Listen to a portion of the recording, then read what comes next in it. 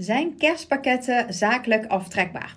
Nou, kerstpakketten geef je over het algemeen aan relaties. En relaties daar vallen onder uh, leveranciers, zakelijke contacten. Als het maar gaat om bestaande relaties. Hebben we het over nieuwe relaties, dan valt het eerder onder acquisitie en marketing. En dat zijn reguliere bedrijfskosten. Ook wanneer je kerstpakketten geeft aan je personeel, valt dit er niet onder. Hebben het dus in dit geval over kerstpakketten aan bestaande relaties. En hierbij vallen deze kerstpakketten onder de zogenaamde gemengde kosten. Dat wil zeggen dat de Belastingdienst zegt van ja, dit deel is natuurlijk een stukje zakelijk en die mag je als zakelijk opnemen. Maar er zit ook een privé karakter aan, aan deze uh, kerstpakketten die jij gaat weggeven als ondernemer. En daarom moet je een gedeelte dus ook als privékosten nemen. Dit noemen ze de zogenaamde kosten. Dit houdt in dat je de kosten mag opnemen die ofwel boven de drempel komen, dat is dit jaar 8 4800 euro.